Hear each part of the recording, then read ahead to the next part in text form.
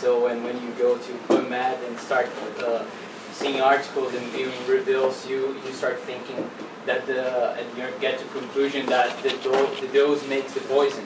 and this is something that we are seeing that zinc can have biological effect, can, but zinc can do, can do good and zinc can do harm. And this is what we are figuring out. So zinc is a, a micro, micronutrient. We've seen that you have the cell, and you have the homeostasis of the cell, you have zinc as an important factor as cell division, as uh, DNA, protein function, uh, catalytic activity in enzymes, as a, as a, but zinc can do harm, and as a toxin, it can cause like the people that are miners and that are, that are welders, that they breathe, that they deal with metals, and they're workers, and they breathe this, they inhale this zinc, they can have toxicological effects, and these guys, they can have like fever, they can have uh, myalgia, fatigue, and they have to stop working to get back better health. But zinc can also have a therapeutic drug and can do good, and in this way has been evidence related to the common cold. There's a Cochrane uh, evidence that shows that zinc in the first 24 hours if administered, you can have uh, uh, decreasing symptoms of the common cold. You have diarrhea uh, as a treatment for diarrhea in children. And uh, there is an estimate that relates to almost 1 billion people around the world are zinc deficient. So when you think about that, so it, it's lots of things to think as do think doing good. And macular degeneration. So you have macular degeneration, and uh, you have uh, it's a disease that uh, predominantly in the elderly, older people. As you get old, you have oxidative stress, and these older people, they have the macula, is a part of the retina, is a part of the eye that uh, receives the, the, the, light. And these people, when they get old, uh, thanks to oxidative stress, they have a degeneration of the macula. And about the this uh, macular degeneration, there has been uh, 10 years ago from NIH a big clinical trial showing that and trying to figure out what are the difference between treatments for this disease. So you have early stages of macular degeneration and you have a advanced stage of macular degeneration. What this study tried to do was to give, for people that has macular degeneration, uh, antioxidants one group was placebo, another antioxidants. These antioxidants are basically vitamins, vitamin A, C, and E. A group with zinc alone, and a group with antioxidants, these vitamins plus zinc. And what they found out within the results is that the only significant uh, decrease was in the last group, antioxidants plus zinc.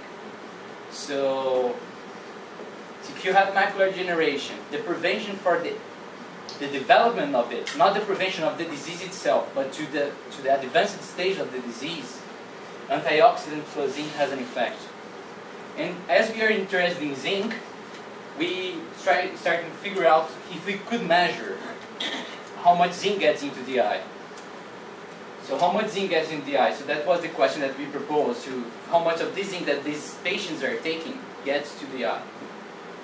So here we have uh, an over-the-counter drug. So you can buy this in CVS, Walgreens. You don't have to have a prescription. And you have these tablets. So this is a supplement of these vitamins and, uh, and zinc. So we get this supplement. You can see one, there, there's zinc. You can pass around. So you can buy this, and we bought this. We pulverized this tablet, and we sent to MIT. So the zinc that is here, we neutral-activated the zinc there at MIT. So what we had is the zinc 64 that we have here. We neutral-activated to zinc 65. This is a gamma emitter. So we have a specific uh, energy of this gamma emission. We have a half-life that is long enough that make us possible to, to, to do the experiments. So we, we sent this tab as pulverized to MIT, the neutral, uh, neutral, neutron activated it to zinc 65 and we we get them back. And then we dose the animals with the ocuvite, that is what patients receive. And then we dose the rats, so the experience took three weeks, so twice a week we dose the animals. And then after the last week, after four days of the, of the last week, we sacrifice the animals. And this, we, we administer by gavage. So what it means is if, uh, the, the patient usually takes uh, orally, the via oral the, the, the, the drug. And what we gave is by gavage. What means is that we have a needle, and then we put the, the, the, the inside the stomach. So we can direct the, we know that the, the dose that we're giving in terms of ocuvite, in terms of zinc, that has this radioactive activity after uh, neutron activation, we are dosing the animals. And after that, we measured the tissues. So after sacrifice, we measured the tissue. So we have here 22 tissues, and among the tissues, the eyes, that it, to make the relation with the, the, the clinical trial. And then, uh, just to give an idea on, on order, this makes like more than uh, 500 samples because you, you, you, there are lots, of, you have six rats, 22 for each rat, and you have feces and you have urine, so you have to weigh all these, all these tubes with the contents, you have to measure in the gamma counter all these, so it's like a pharmacokinetic study. It was really nice to, to learn how much data you get from these kind of studies. And here is an alphabetical order of the, of the tissues we've taken with this, uh, our main interest was in the eye and nose. So here is, we also analyzed the feces and urine, so we did that by using metabolic case, the place where you put that rat and you have water and food. And then you can have in separate tubes the feces and the urine. And you can measure. So we, after dosing, the animals, we measured, put the animals in metabolic and collect feces and urine and separate them and measure in the gamma counter to see how much it was excreted. So about the distribution, what we found was that uh, you have, as a percentage of dose, so after all the dose, 0.001% of the total dose is in the eye. And uh, consider the other tissues, you have 6.62. Uh, uh, but the point is that in terms of this percentage, and this is the uh, what is in uh, feces and urine, and part of feces is non-absorbed. Uh, when you divided the, the dough, the amount of by the weight or what's the relative concentration? If you normalize, but I can imagine it in a liver, a bigger. Yeah. Perfect. So what we have is in terms of, uh, so as a percentage of the dose, because this is the important question. No, no, every time I had a, I think I have a good idea. Everybody already had. It's very common with me, this. No, it's a good idea. Okay, let's see that slide. so that 0.001% of the dose, what it means, because the eye is really a tiny uh, part, a tiny organ, so what mean, it means? So if we, we make the zinc as a concentration of zinc per gram of the tissue, we have the, the average for the entire body, and this point of uh, five six. And uh, what we have is that some tissues, they concentrate more than others. So as the bone, as the skeletal muscle, and you have the eye over here, that it's less than the, the average of the body. It doesn't concentrate as the bone and the skeletal muscle, but seems to concentrate in relation to the plasma. In terms of three times so, right?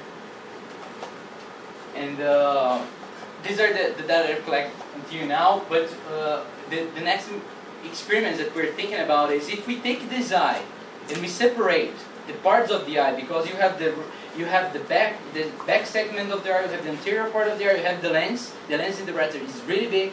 So how if you separate them, how, how is going to be the concentration within? So this is we, we met an ophthalmologist from Brazil. They're in, Eye Institute. He's helping us with this idea of separate them and, and see if this uh, makes difference in terms of concentration in the retina because the oxidative stress and the macular degeneration is within the, re the retina. And then uh, uh, another idea is about uh, Ocuvite uh, adding uh, zinc to. So I give the the zinc that is in, this is giving through this supplement.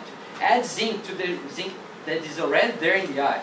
So we have usually uh, zinc in the eye, and there is additional zinc that we take from the supplement. So how much comes from the supplement? How much comes from the from the that's already there? Do you have histology of these eyes?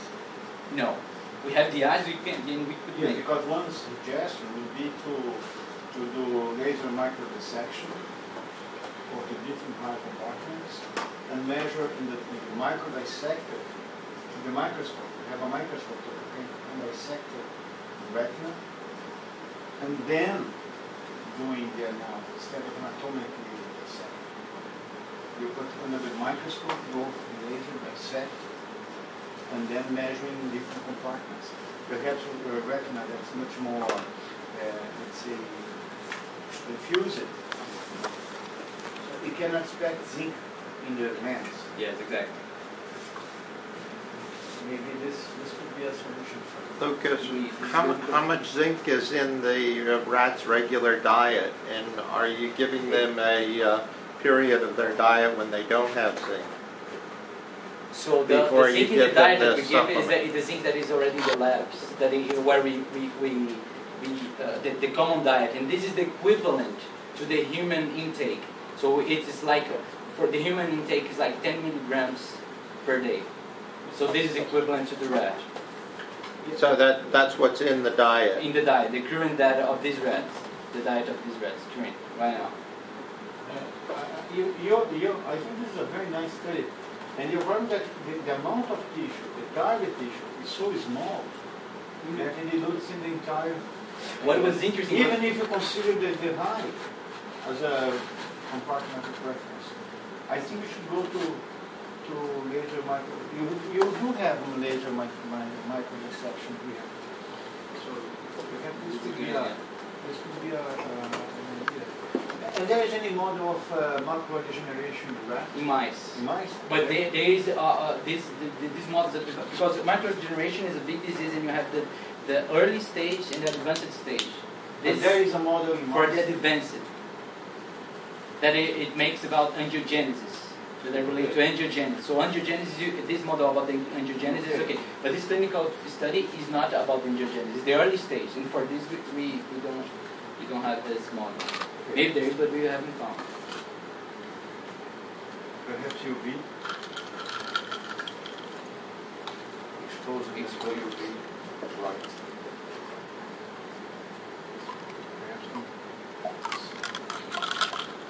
This is a really nice presentation, fascinating results. There is some slides, but please. Okay, now I was gonna ask, lutein is also in there. Is that play a role in any way? In the- Sorry, lutein. Lutein, uh, Yeah, there is. So there is a. This is this this clinical trial that I, that was there. It was in uh, 2001. There is one curriculum happened and will be released next year, or uh, that it uh, it's about lutein and uh, another sh- uh, shunting that is uh, something else. So, but we we specifically uh, target the zinc. Yeah. But this is a compound. okay. So, and if we wanted to trace like the vitamins, all the other vitamins, vitamin A, vitamin C, we could do that, but you had to use carbon 14. It would make Mm. things um, more difficult. Could be done, but it makes things more difficult. And uh, just to, to link to the uh, some ambitious questions that are Mhm. related to this is something more locally in the eye, is something for the entire body that acts systemically. These effects of zinc is the uh, and the zinc that uh, is more. So this the zinc that we're we're giving to the to the, to the patients to the animals. Is there a, a, a risk, a toxicological risk in this? And uh, this effect of uh, of ocuvite of uh, the supplements is to you have you know that we know that the elderly they are usually zinc deficient. So with over age you, people get uh, zinc deficient. So is this effect by correcting the zinc deficient deficiency, or is this effect by uh, creating above normal zinc in the plasma and in the body? And uh, uh, we, we met uh, uh, two, two weeks ago in a conference, another researcher that, that she researched about cadmium. And there maybe there is a correlation with cadmium uh, competing and uh, there is a uh, and changing the uptake of zinc in the eye. So maybe there's another cause of macular degeneration. So is that something something something more to think possibilities. And here, this is uh, the last hour uh, slide. So if we could uh, uh, work together in what you mentioned to the pregnant rats and uh, the, the, the placenta and everything, if you could, because we, we, with this model, we can radioactivate activate their things in MIT and bring it back and try to do. And Uh, we have neutron activation there. We have a facility to do neutron activation. Uh, there, it's very, it's very efficient. So I think we should It's a good idea.